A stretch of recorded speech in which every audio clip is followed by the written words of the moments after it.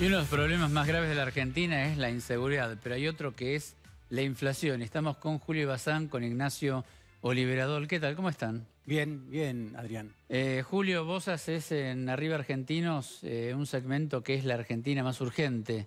Eh, me pareció muy importante porque te ocupaste del tema inflación en estos días, ustedes dos, y me parecía interesante volver a plantearlo. Yo desde muy joven escuchaba la frase esa de que los salarios suben por las carreras y los precios por el ascensor. Y eso está pasando, como pasó en, la mayoría de las épocas históricas recientes de la Argentina. Y en, los barrios, para la gente, la inflación es más que una estadística. Es un problema cotidiano, diario, alimentar a los hijos, vestirlos, pagar los servicios. Sí, no se mide en 6%, 4, 2. Se mide... lo sufre día a día. Se mide en carencias, en privaciones, en dejar de comer determinados cortes de carne, en tomar menos leche, se mide con sufrimiento. Entonces la gente hace estrategias. Por ejemplo, eh, compras comunitarias, comprar en mayoristas, pero si vos vas a comprar un mayorista, tenés que un límite eh, en, efectivo y con determinado límite que generalmente es más alto que el sueldo. Y entonces el resultado es que eh, el sueldo no te llega a fin de mes y acudís a la tarjeta y con los intereses. Estuvimos en las casas y en los comercios para conocer este problema hablando con la gente. Adrián. A ver, ¿lo vemos? Dale.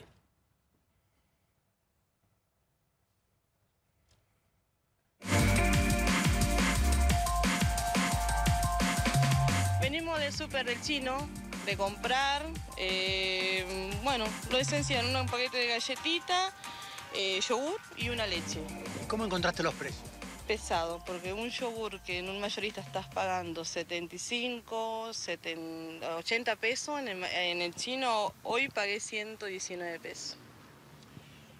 ¿En los últimos tiempos tuviste que dejar, dejar de comprar alguna cosa porque era muy cara? Eh, sí, sí, sí, Por ejemplo, en vez de comprar eh, dos packs de leche, que es lo que ellos me toman, estoy comprando uno y medio y lo que llevo hasta fin de mes. En estos últimos tiempos conozco vecinos que se están juntando entre ellos, van a comprar al mayorista eh, en grupos. ¿La última compra cuánto gastaron? La última compra gastamos 1.392. O sea, compramos de acuerdo a la plata que tenemos, porque es efectivo, no acepta ni siquiera la tarjeta de débito de jubilada ni menos la de crédito. y, esta, esta, es una compra de 2.233. O sea, cuando juntamos más de mil pesos, vamos. Mi hijo trabaja, pero no, y, yo, bueno, ellos compran por mayor, ¿no? Pero no llegamos a los 15 días. Así que al resto tengo que ponerlo yo porque para todos. Porque yo soy pensionada nomás. Gano eh, 7.600, algo por ahí. ¿Qué van a cocinar hoy? ¿Qué vas a cocinar hoy para la gente? Tengo arroz que tengo preparado ahí, un poquito de tallarines que quedaron de ayer, y el arrocito con un huevito, cualquier cosita lo hacemos y salvamos. ¿Se puede comer carne todos los días con estos precios? No, mira, recién compré esto que... Eso que lo tengo acá lo tiene que ver hasta mañana. bueno, imitación, algo que coman los chicos porque tienen que comer. Los chicos. Sí, los Se privilegia a los chicos. Sí, primero están ellos. Si uno alcanza, bueno, si no, comimos cualquier cosa.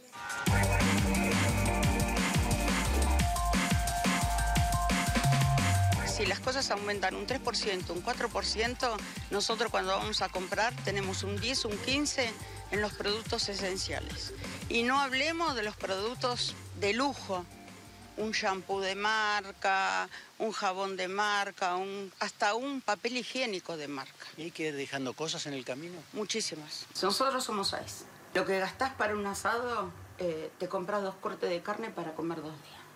O sea, lo que gastarías un día para un asado, eh, te compras dos cortes de carne para dos días. Esas son las estrategias que hay que oponerle a la eh, inflación. Tenéis que hacer malabares. Cuando empezó la situación económica, años atrás, empecé con la huerta. Compré tomate junto a la semilla, las planto, las guardo, las seco, después las planto, tengo plantines y en la huerta tengo lechuga, acelga, también semilló, eh, rabanito, zanahoria. ¿Y eso ayuda a la economía familiar? ¿Se ahorra con eso? Porque te ahorras un montón. O sea, papa no porque no tengo mucho lugar. Pero yo necesito lechuga, saco las hojas de lechuga que necesito, necesito acelga, voy a mi huerta, tomate lo voy a tener recién en enero, voy a tener tomates. Este, pero ayuda muchísimo.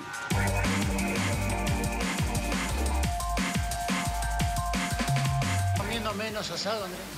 Sí, olvídate, ¿no? Antes yo que yo sé, te puedo decir, vendíamos, suponer que yo sé, eh, un suponer que un decir, eh, 10 asados, hoy vendemos dos, ¿entendés? Y te cuesta, te cuesta vender esos dos asados, ¿entendés? El otro día ha venido una clienta y entró y, te digo la verdad, me dijo, eh, me das 20 eh, pesos de carnaza y con el corazón en la mano te digo, eh, me dio vergüenza sacarle los 20 pesos que ella tenía sabiendo que tenía un par de chicos ahí. Te digo, me, puse nervioso y agarré y medio kilo de picada y, le di en las manos y le dije, bueno. ¿Qué medio kilo de picada cuánto está? Y hoy medio kilo de picada habla de 140 pesos. Imagínate, ella me pidió 20 pesos. ¿Cómo haces?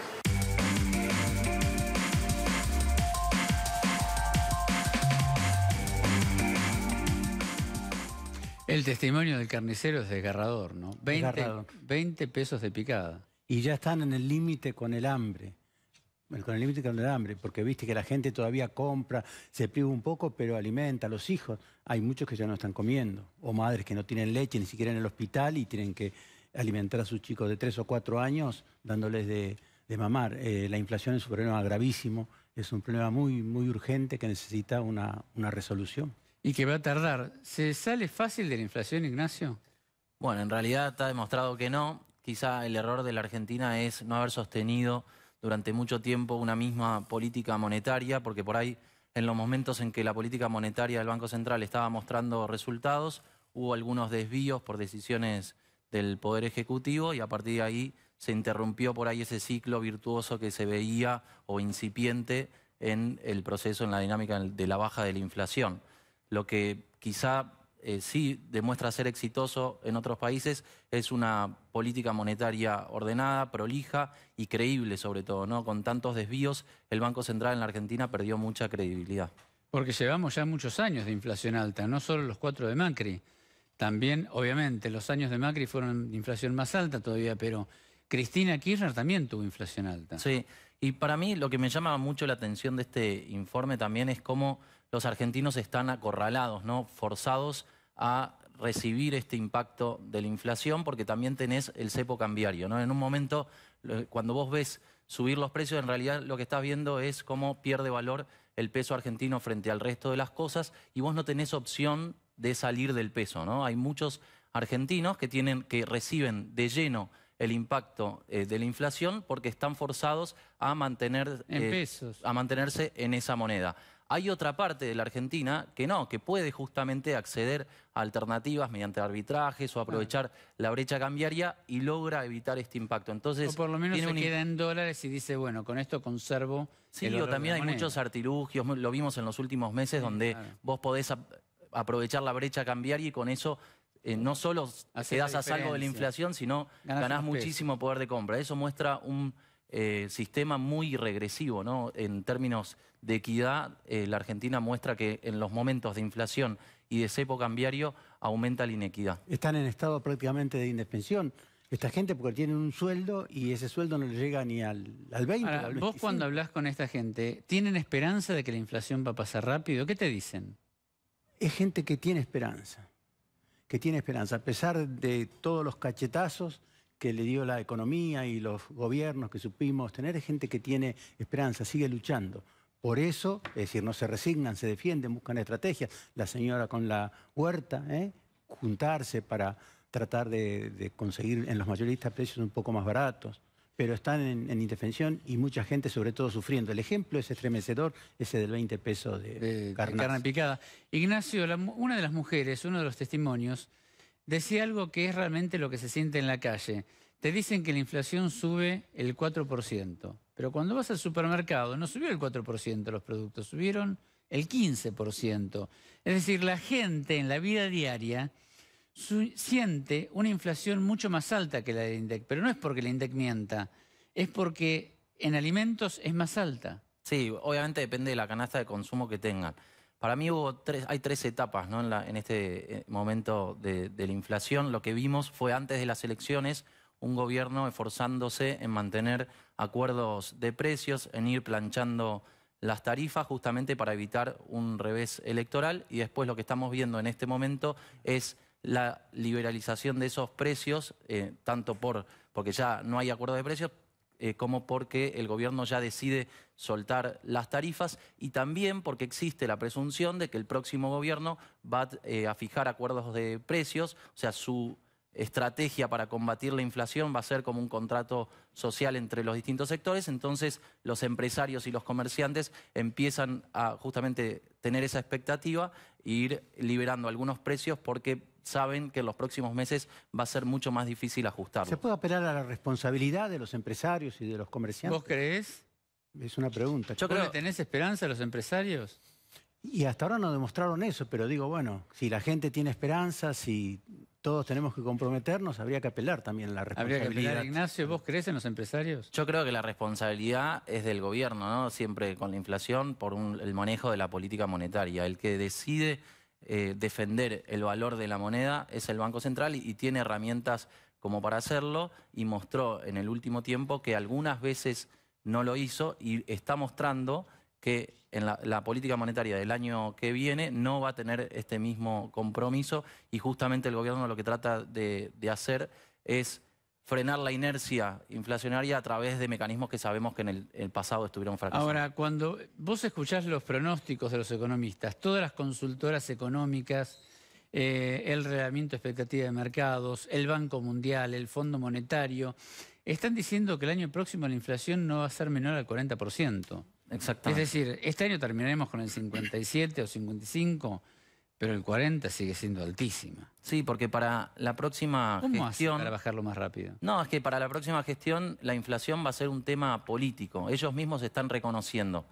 No vamos a mantener esta política monetaria restrictiva y nos vamos a enfocar en frenar la inercia de una manera artesanal, como lo vimos en otras épocas. Que es exactamente, en el diálogo con los empresarios, con los sindicatos. Y obviamente esto lo que te va a hacer es tratar de compensar la suba que veas por otro lado, ¿no? Porque vamos a ver muchas subas si es que eh, van, a, van, a, ir eh, convalidando una mayor emisión de pesos para asistir al Tesoro como se está previendo, porque esta, esta mayor emisión de pesos lo que hace es, eh, termina siendo un combustible para la demanda de bienes y de Los precios suben, entonces te coloco más dinero en el bolsillo para que los puedas pagar. Pero esto te puede durar dos meses, tres meses, después se vuelca más inflación. Exactamente, y todos lo saben, el mercado lo sabe y por eso se va anticipando. ¿no? Es, un, problema dramático, pero, pero mientras esté expuesto, eh, se sabe la calidad de enemigo y cómo vencerlo. Esperemos que no dibujen. Ah, bueno. Esperemos que no dibujen. Vos tenés muchas esperanzas hoy. ¿Crees que los empresarios te pueden frenar la inflación? Y que esperás que nos dibujen. Aspiro a eso. Aspirás a mucho, Julio. No sé, no es tan fácil. ¿Qué otros desafíos económicos tienen? Lo que viene claramente es la renegociación de la deuda. El mercado se está poniendo muy nervioso porque no hay ninguna definición ni en los nombres del gabinete ni en ningún tipo de, de medida económica. Todo lo que está viéndose son trascendidos. Eh, pero se sabe que dentro de la agenda económica lo que va a tener que enfrentar el gobierno es la negociación con el Fondo Monetario Internacional y con los acreedores privados. A ver, te voy a hacer una pregunta y la respuesta no política, porque si se la hago a Alberto Fernández ya sé cuál es la respuesta política. Alberto Fernández te dice, el Fondo Monetario no puede condicionar la política económica de Argentina. Y la pregunta es, ¿la negociación con el fondo va a condicionar el margen de acción del ministro de Economía o la decisiones que tome el ministro de Economía para política económica interna puede condicionar el fondo? Respondémela en términos de economía, no términos políticos. Ninguna duda, porque la Argentina... ¿Ninguna duda de qué? De que el Fondo Monetario va a terminar condicionando la política argentina. O sea, el fondo condiciona siempre a la Argentina. Claramente, porque es lo que, incluso lo que necesita la Argentina en un contexto de negociación de la deuda con acreedores. La única herramienta que tiene en este momento para generar credibilidad y mostrar que tiene un marco institucional, que va a tener un programa económico consistente, es el fondo. Por eso los acreedores privados van a tener mucha más confianza si ven que antes hay un acuerdo con el Fondo Monetario Internacional. Y esto implica llevar, eh, ir reduciendo el déficit, el déficit fiscal y ir cumpliendo con la meta que fue fijada en los últimos años, ¿no? Y tratando de lograr un superávit fiscal que esté más cerca del 2% del PBI. Julio, vos preparaste este informe de la Argentina urgente para arriba argentinos. Así es, así es. Estamos haciendo una serie de informes. La pregunta los temas es, urgentes. el segundo informe, ¿de qué viene? Y bueno, eh, Así y- porque te traigo el domingo próximo. y sí, Me encantó el informe. sí, sí, bueno, son, son problemas de la gente. ¿Cuál es el otro problema? Vivienda, seguridad, ya hablamos del hambre, Problemas duros, ¿no? durísimo. Porque vivienda ya no hay acceso al crédito. Ahora, para trabajar el otro día, ¿no? Hicieron la cuenta, para comprar un metro cuadrado creo que tenés que trabajar cinco meses. Por eso. Para comprar un metro cuadrado de una vivienda, cinco meses. Claro, inflación, o sea, en sueldos. un, año, en un año de trabajo Mm. compraste dos metros cuadrados de una vivienda. Precio promedio, no estamos hablando de un departamento en Puerto Madero, estamos hablando de precios promedios. Precio bien, bien promedio.